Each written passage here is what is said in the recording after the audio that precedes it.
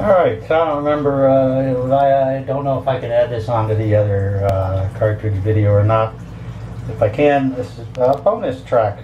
Uh, a week later, I got another one. If not, this is going to be a video on specifically just changing the spring cartridge without all the other drama about the leaks and stuff. And uh, luckily enough, at uh, 3 o'clock the other day, I came out on a weekend and found this running. So spring cartridge let loose on this one. Luckily, uh, it was on a weekend day at 3 o'clock when I come out and check them anyway, as opposed to happening afterwards. So First thing is you pull that back up and you turn the water off. That way it doesn't matter anymore, the water's down. So, spring cartridge, you're not familiar. This is what controls that valve.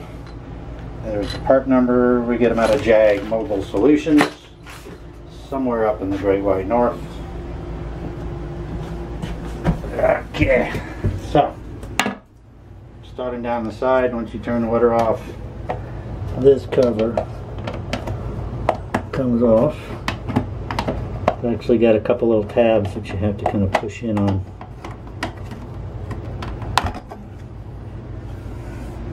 There's the little tabs.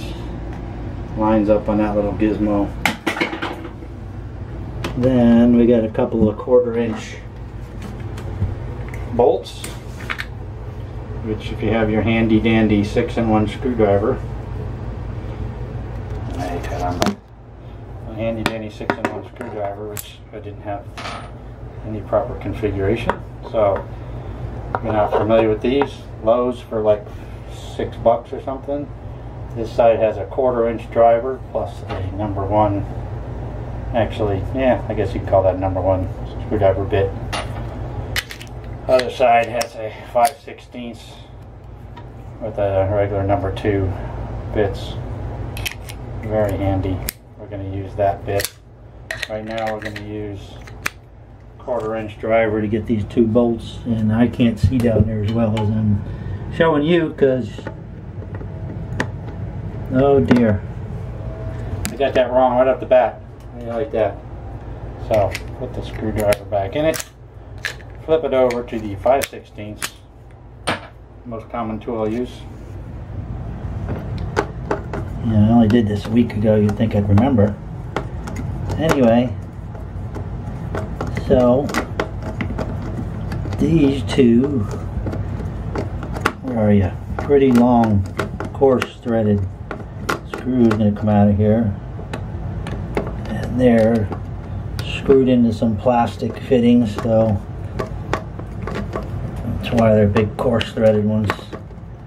You gotta be careful when you put them back in you don't over torque them and break them and of course the most critical one is the center screw which we'll be pulling out of that cartridge in a minute.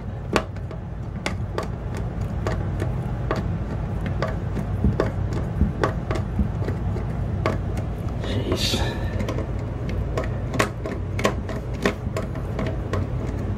You usually have a cushiony pad on here but if you actually use the tools that wears out.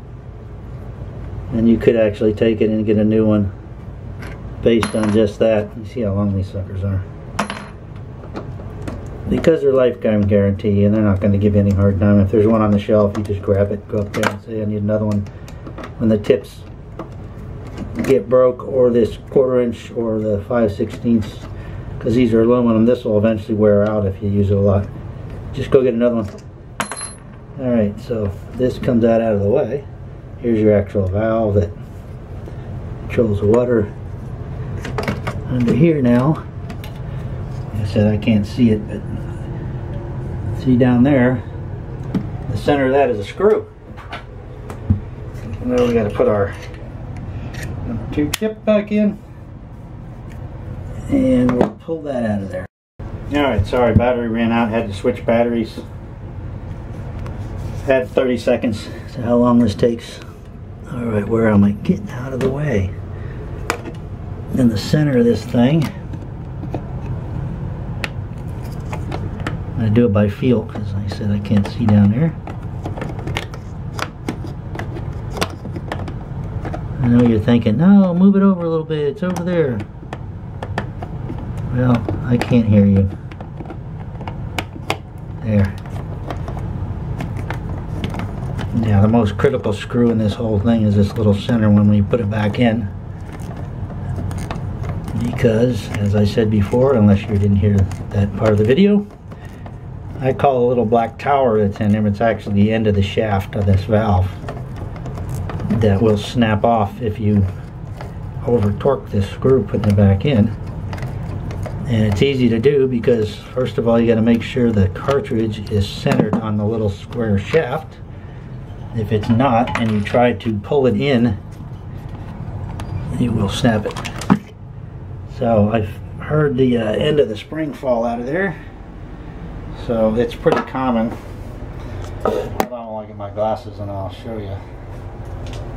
Wow, I didn't realize I was doing that without my glasses on. Okay. So right down here, you see that that's not there? It's funny, isn't it? Uh-huh. That goes right there. So let's just whip this other one out.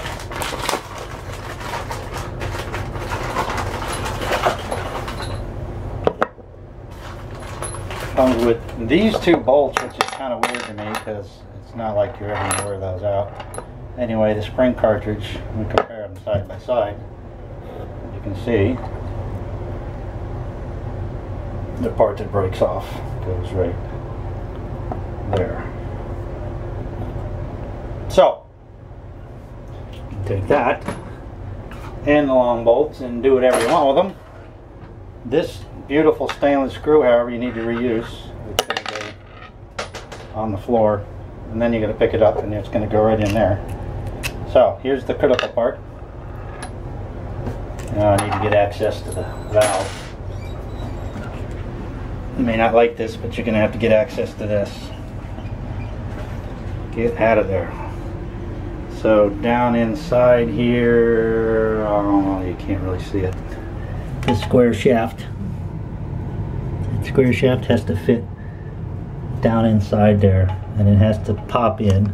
Okay in case you didn't see the other video this is going to end up in this configuration right here. Ends up right there. See where it goes up against that?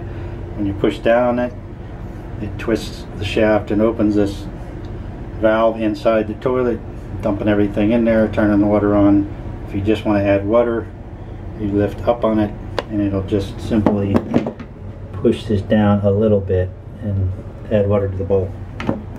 So this has to be in that position plus this spring cartridge has to be on that square shaft that has to be done together. This has to be on there first. I can do this one-handed Can't really see what I'm doing. Somewhere up in there. Now, what you got to do is, I don't think I can do this with one hand. I'm going to manipulate that back and forth a little bit and push on the spring cartridge with my fingers. This lever is going to be about in that position. And the spring cartridge is going to pop on in there. Yeah, there's no way for me to show that, is there? can't tell what you can see. So I'm pushing and I'm rolling this ball back and forth a little bit. It's going in all the way. Nah, there's no way it's gone in all the way. Okay, well, it wasn't very dramatic, was it? But I felt it pop in there. I don't know if you saw that or not. Trust me, it popped in there. One way you can tell is now, if you hold that thing in, this thing is somewhat pinned right there. I don't know if you can see that or not. It won't just flop around. It'll just flop around if it's not in there correctly. So now, I'm going to try to do it without holding that cartridge in. I should be okay. This is the critical one. Because if you try to tighten that screw up and it's not on the shaft, it'll be riding up on the side and you will over torque it and you will snap that little sucker off. And then you have to replace this whole base because those valves really aren't available as a spare. And usually what they do for us is go out in the production line and grab one and sacrifice a completed assembly to give us the part we need. I forget what they cost. Alright, now I'm going to tighten that up a little bit.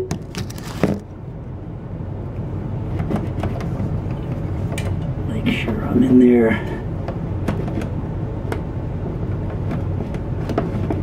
It's on there. I really can't tell you. Get snug and then just a little bit more. Not too much. Try it out. Worst thing happens is that it breaks off and you have to fix it anyway. Then, hopefully you can see, those two bolts go in there. They go in a couple of holes, which, as you can see right there, they're underneath those screws, slightly outboard.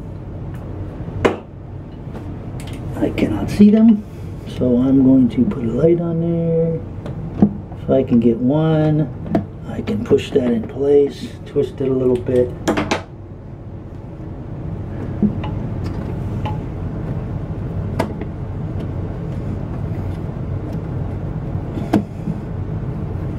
I'm going to probably where they belong. I am going to slowly and carefully and gently start screwing those in. And that thing gets pushed up against there. So you're good to hold pressure on it.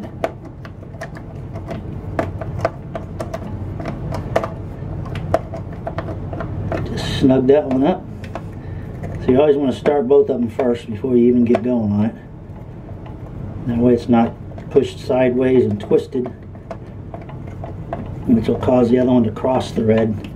And if you notice how coarse those threads are, if you get it cross threaded, it's going to cross thread for serious. All right, little tighten that up. Tighten that up about that much. Theoretically, we turn the water on.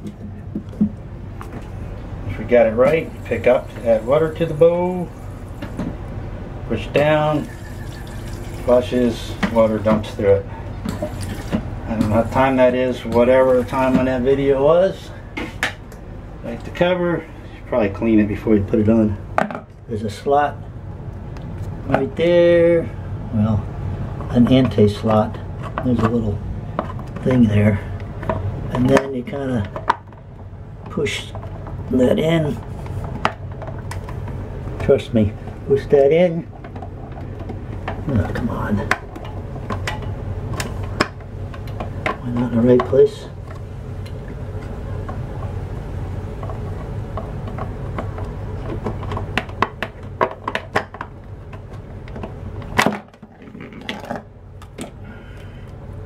hard to try to put both of them in at the same time, so I'm trying to put one in and then pop the other.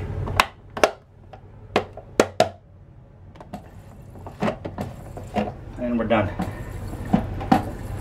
Alright. And if you have a problem where the water does not stay in the bowl like this one, as I mentioned in the last one, in case you didn't see that, there's a gasket that goes right up under here. You have to take the this whole thing off, which has got a clamp and a V-clamp on it, and you take that, and you can buy the gasket separately just to replace that. Uh, the other two we have are working fine, so this eye, you know, that's what happens. I'll get around to it one of these days. Actually, not really going to worry about it at the moment. Alright, and there we go. However long that took, that's how long it takes. Change the spring cartridge. And no more leaking all over the place.